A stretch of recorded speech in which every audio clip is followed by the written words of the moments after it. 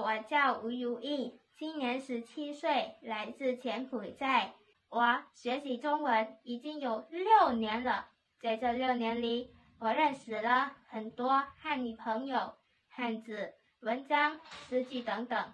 每天都会有很多汉语朋友和我玩，因为有汉语朋友，我学会了用中文看书、听音乐、追剧、唱歌等等。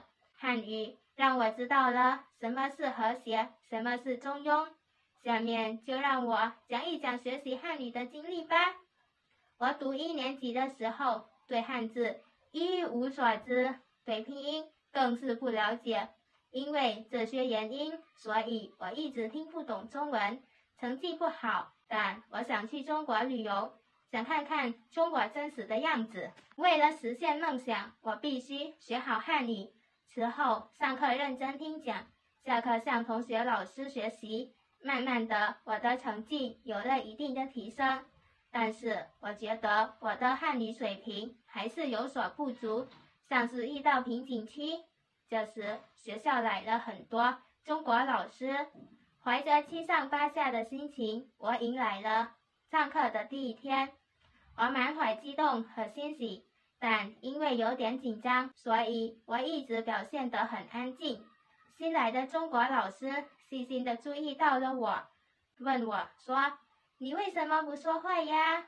我说：“因为我的中文水平不好，怕说错话。”让我意外的是，老师并没有因为我的中文水平放弃我，反而一直鼓励我，让我不要害怕。老师的温柔鼓励了我，后来我便尝试与老师多多交流。从刚开始的胆怯到现在的流畅自如，我变得越来越自信。是老师的鼓励和帮助滋养了我的成长。